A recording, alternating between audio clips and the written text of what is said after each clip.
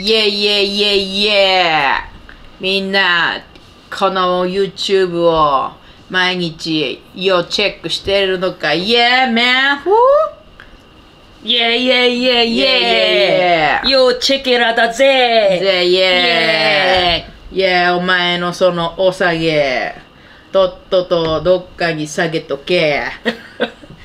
イェイ何もらってんだ、物もらい。イェイしそうのろ。ふざけんじゃねえ。ふざけんじゃねえよ。ェイディスってこいよ。イェイなんだこの団子。Yeah 顔も丸けりゃ体も丸い。そうだ、イエーこの体には愛とパワーが詰まってんだ。イエーお前は一体誰なんだ？イエーあたいのなおかずクラブオカリナだぜ。そうだね、イエーそして、このわけのわかんねえ、チンピラもどきの、えー、ハゲだるま。イエー MC 鈴木イエー今日はこの楽しい3人で、イエーやっていくぜ。イエー一個もイン踏めなかったぜ。今日のテーマ教えてくれ。イエー今回は私たちの肌年表を作ってみた。イエ1個くらい踏めると思ったんだけどーイ難しいね。ねでもお下げ下げとけど。ういや物もらいどこでもらったんだじゃないですか。あ物もらいどこでもらって。いやでもちょっと着直接的すぎない？物もらいみなとみらいとかさ。なんだけど。そそうでしょ？そうでしょ？そうでしょ？うん。あのハゲだるま。ヒゲだるま。えーヒゲだるま。いやハゲだるまえー、ビオデルマみたいな。そういうことでしょ多分。ビそういうことだよオデルマね多分ね。ビオデルマってなんだっけ？いやクレンジングだよ。クレンジングうん。そうそうそうそうそう。さあ、はいやりますか。うん。どどういう企画ですか？えっと私たちの0歳からの肌年齢の年表をこうやって作っていきます、はい。勝手なね主観のやつね。はい。はい点数を。生まれた時点を100点として、まあ赤ちゃんだから100点だろうね、はい。まあ、そっか100点は超えることないと思うのでわかんねえよ。人生このんなんよ。わかんねえよ。医療の力あるんだからな？確かに。上の今の時点で何点なのかっていうのを了グラフ解にしてもらいましょうという。はーい。じゃあ書きまーす。いきまーす。じゃあ私からいきます、うん。こちらです。ドン。まあねそうのそこまでねまあ100からまあ落ちていくでしょう。落ちていく一一方というかやっぱ10代の頃とかもうニキビもねできてもすぐ治ってましたんで1日ででもうこの辺っすね。10いくつ ?18 とかかな。大学でラクロス始めて日に焼け出したあたりから多分まあちょっと肌トラブルもきっとねこの頃あったでしょう。その汚い手で鼻こすったりしてたからここがポコってひ赤くなって腫れてたこともあったんで。でそこからまあ二十歳になってもね綺麗でした。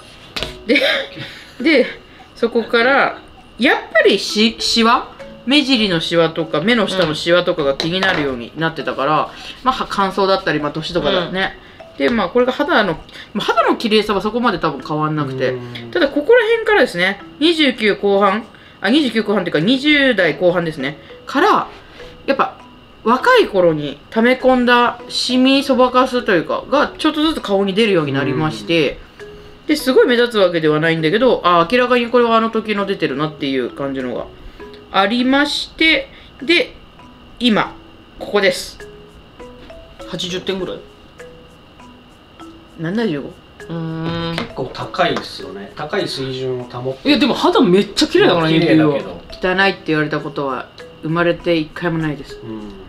肌綺麗だね。うん。目綺麗だねはよく言われてた。うん太ってるねも言われてた。色白いねも言われるしね。あそうだね。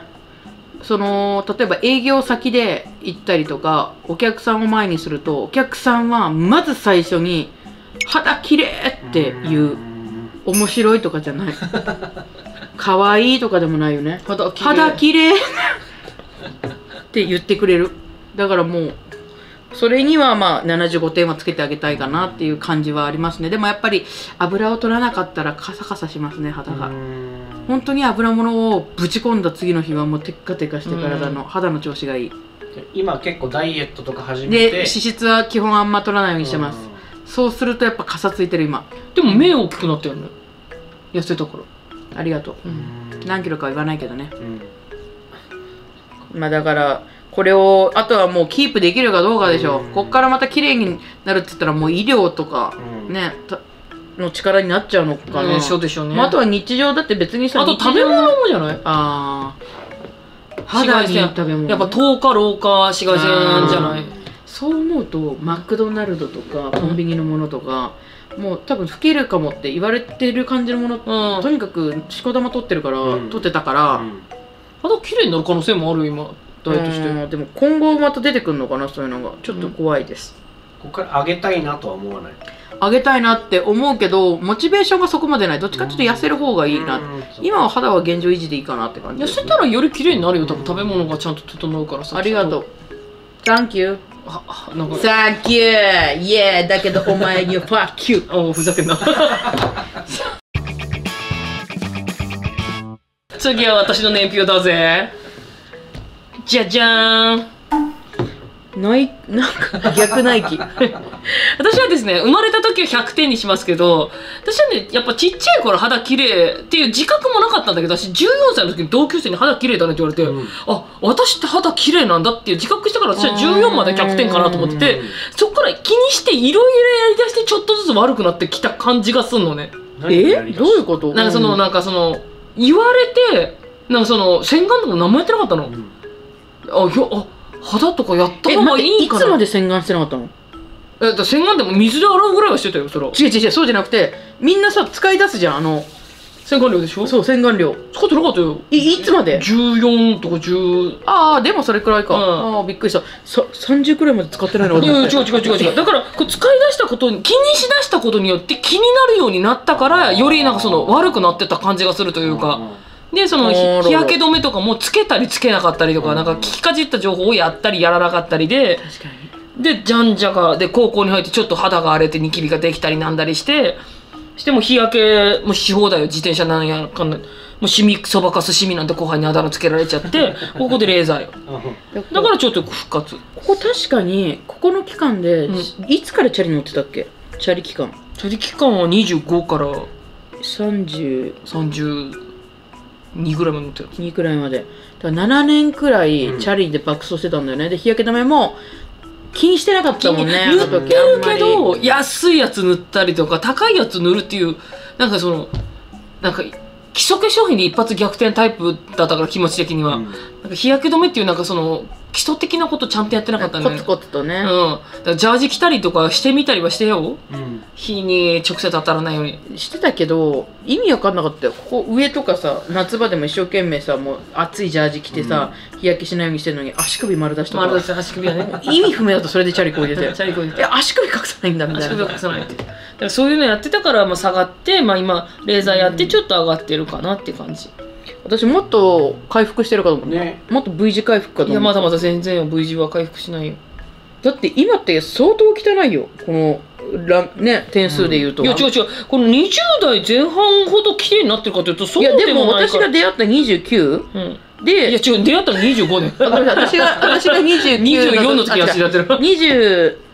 23の時に私が、うんうん。あ出会ってんのか、うん。24だ、うん。24の時に多分出会っててそうなるとそこからオカリナさんまだ綺麗だったんだよね。うん。そこから徐々に毛穴がすごいことになってたんだよね。いやそうそうそうう。そう。そうそう。そう毛穴がやばくだからその時と比べるとやっぱり来たレーザーやってるとはいえやっぱりお肌も衰えてるからうん。そこまでいってないってなるとここになっちゃうわけよね。マジですごかった時期あったよね確かに、でそこから確かに。まあちょっと回復してるけどまえだだいぶ回復してると思う。私私からしたら岡ちゃんここくらいまで来てるよ。50えあなた自分で客観的に見て私毎日見てたからねあなたのこと、うん。とこだからちょっと上がってはいると思うんだけどいやいやもうもっとだよ。50までは。v, v 字だったよ。ほほん本当に。そう。出会った時岡ちゃんと出会った時が多分この辺で。でそこからどんどんこうなってって一回ついて。ついてないよ。ゼロだついてたよ。ゼロのついてた時ゼロの時はないよさすがに25点ぐらい。自分じゃ分かんないかもしれないけど一回一瞬ついた時期あったよ。ついて。そこから自分でやりだして上がってたもん。な私あみるみる人ってこんなに医療の力で肌って綺麗になるんだって？0点の時はあった私でっていうかなんだったら0点を一回えぐってた時期あってそうだよ。本当だよ。私は見てたんだから近くで毎日嘘だろって思って25点ぐらいでしょ？0点いとかやいやいやいやちゃんとだからここで出会ってでそこから徐々に徐々に下がってって一回バウンドして 一回ちょっと地中潜ってでこの青い縁に当たってこう上がってほんとほんとだから今はもっと上だよ。50 50はいってる絶対いや0.5 50じゃないかもね。もっといってるかもね、うん。70はいってるよ。いやーでも。75はいってるかも。ユピと一緒じゃんやつ。一緒くらいかもしれない。それはないよ。やっぱさ肌シミとかはさ消えたけどさやっぱりさ年齢的にやっぱ衰えがあるじゃない？その肌の。うん。のがあったりするからやっぱりこれぐらいもうちょっと頑張りたいよね。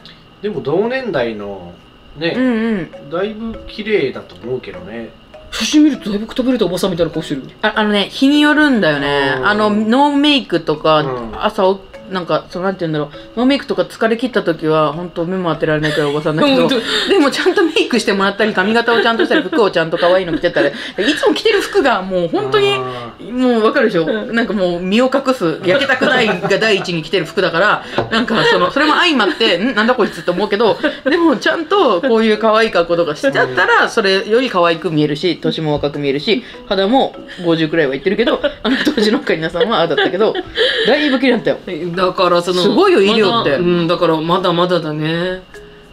あでも意識も高くなったしね本人60の点ぐらいにはなりたいもんだねいやなってるよ多分。多分見てる人からしたら、なんなんであなたでそれで言うんですかって思ってると思うよ多分。炎上だよ。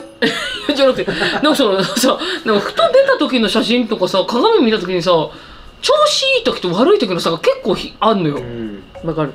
なんで本当ろ73ぐらいですかっていう時もあんの？いやいや85でしょって言う時。いやちょっと待ってよ。いやいやいや若く見すぎ。自分の ちょっと待って。85の時ある？おばあちゃんって言いそうになったあるよ。あるけどでも整えたらなるってことは、うん。だってどんだけさ年を取った人って若作りしたとしてうん。もそこまで見えないじゃん、うん。だからそんなことないんだよ。大丈夫だよ。85に見える。の一瞬見せる時があってあ女優だなって。やっぱ9歳の9歳のバカボンとか演じたりでも85歳のばあさんの映画って勝手に役作り。オファー来る可能性ある。これだからその驚く時があんのよ。うん。わかるよ。なんかでもさか 私も驚かされてるでしょ？だから そうだから なんかそのムラがないようにはしたいよねなんかそのなんていうかなそのきあーなるほど。なんかそのあこんなにやっててもこんなもんかっていう時とあんまそこそこじゃないっていう時もあるしカメラの調子なのか何なのか分かんないけどカメラの調子と私の調子が合致する時にすごくいい時もあるの生き生きしてる顔してる時とかうん。テンションが上がる時の顔の時は多分口角とかここにぜ自分が気づいてないだけで上がってんだけどやっぱ何もない時って地べたにつくくらいの垂れ具合 なんて言うんだろう。本当重力がこの人だけ10倍かかってんじゃないかっていうような表情でたまに新幹線の乗り場に現れる時があるから その時は私も知らないふりしてこうやって。知らないふりするんだろう、うん、だからこんなもんかなっていう具体的にはそこの3334歳あレーザー。からはレーザー。レーザーやったねレーザー。やっぱさ、うん。ここで気づいたの？よ私いろいろ試したんだけど基礎化粧品とかね高いやつとか、その思ったほどの効果は私は感じられないけど指はこれの時は良かったよとか言ってくれたりしたんだけど、その目に見えて分かるっていうことが私はなくて、うん。いろんなものに手出しちゃやめ手出しちゃやめだったの、うん。なんか物理的なこともなんかその生活とかも、うん。生活習慣とかも、すごいから岡ちゃんちゃんとそういう高いデパコスの店行って、めちゃくちゃワンセット買うのよ、うん。うん全部 LINE で。LINE っていうのがもうほんと同じメーカーで全部揃えるっていうか、で結構な値段すんのよ、うん。それをでもちゃんと全部使い切って違うって思ってたから これは違うってしっかりとした、ね、自分の中で検証できてるから、うん。それはもうだからそのキールズの時めっちゃ綺麗になったけど、うん。本人はそれはちなんか分かんないっていうのよ。分かんないってでもレーザーに関しては分かるから。うん。目で見て分かんのそうレーザーはもうすごいよなすごいよ。レーザーとビタミン D には私なやっぱもう物理で殴りかかってるっていう感じではあるんだけどもレーザーはやばいよね。レーザー私はすごく合ってるなって思う。やっぱちょっとでもピーリングとかやるから時々すごい肌荒れる時あるんだけど、でもそれでもやっぱりあの頃と比べるとだいぶマシになったなって思うし、うん。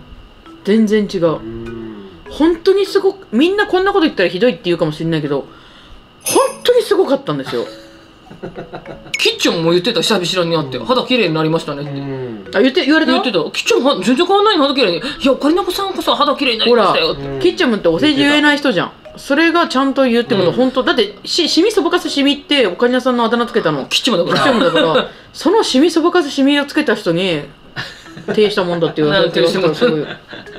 だからだいぶよくはなってる。近くで見るけど本当に違う。レーザーってすごい。うん継続も大事、うん。いろいろね。日焼け止めもちゃんと塗るようになったし本当にここのいいですか？ここがひどかったひどいこと言ってた私の肌の肌の。違うの。